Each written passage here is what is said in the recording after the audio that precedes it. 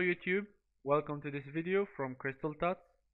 In this video we are going to learn how to update our drivers and download our missing drivers in an easy, simple way. So let's get started. We'll go to Google, type maconfig. Then we'll go to the first site. Then we will click start the detection. Here it will need a small software called maconfig.com. It's from the site itself that will allow us to detect our messing drivers from the computer. When we click start detect the detection, it will take us to another page to download first that software we'll click on our system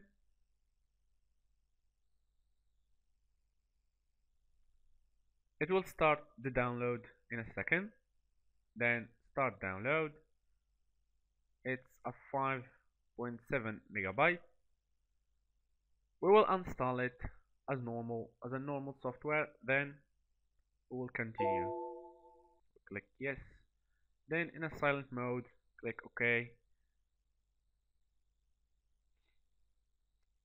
So we'll double click on this icon here. Then yes it will start automatically the detection of our missing drivers or search for the drivers that are in the computer but in outdated uh, outdated drivers.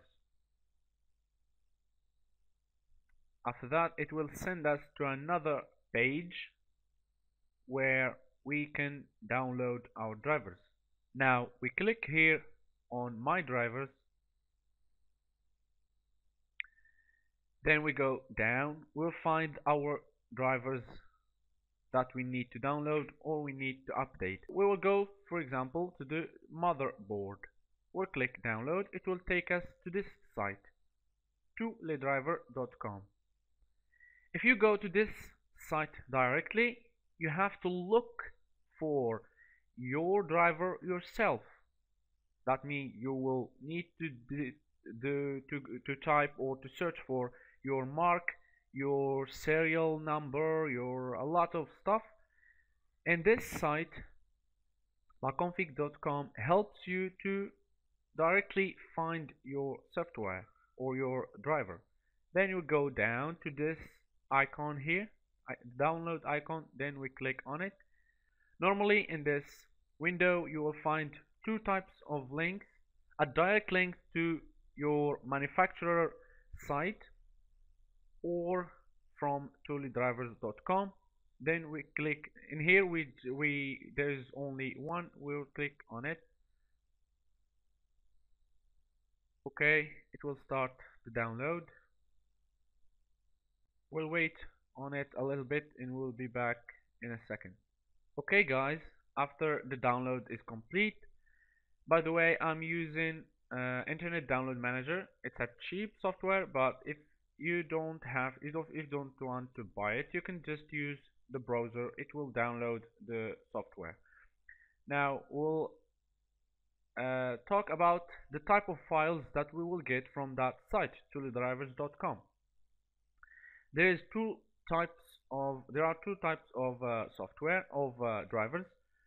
The first one is an executable uh, uh, file that you will install normally as any other software.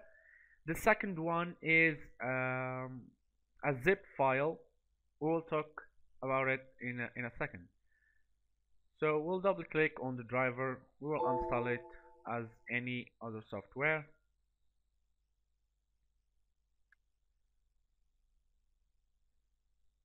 Accept next you all know how to install a program or any software.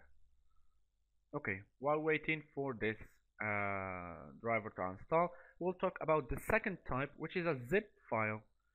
So when we get when we get the zip file we will just extract it uh, in the desktop or any anywhere else. We will go to um, computer then mm, properties right click properties then device manager.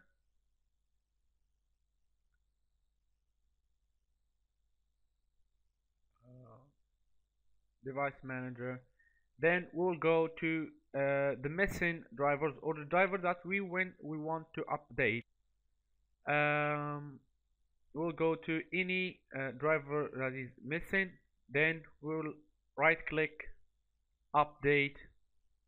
Then we will choose browse from uh, my computer for driver software. Then we'll click browse and we'll look for that um, file that we've downloaded before. Then we'll click it.